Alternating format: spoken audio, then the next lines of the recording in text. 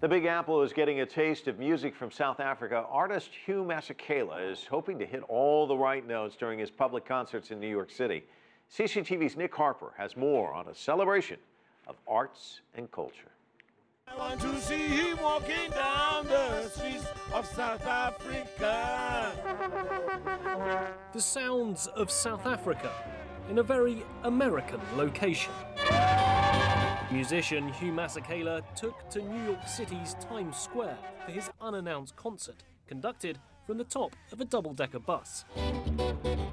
While in New York, he also wants his voice to be heard about music's influence on world events.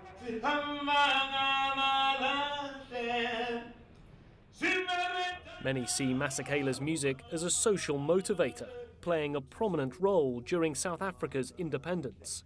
But he believes the power of music and the microphone have dwindled. Music doesn't play that uh, uh, much of an important part anymore in society, but we've only been free 20 years.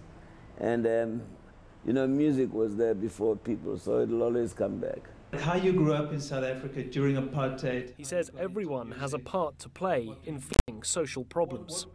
Injustice is not incumbent upon artists to fight against it, you know, or to like object against it. It's incumbent upon everybody in the world, you know. People that tend to push the buck, you know, to to to like uh, push the buck to like okay, the artists let them talk about it.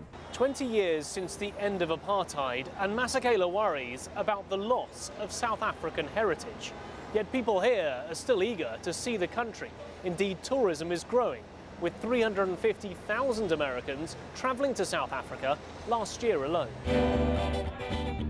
We hope that people will be curious to actually take the step to want to explore all that South Africa has to This is really just a taste, but the truth of the matter is South Africa holds it all.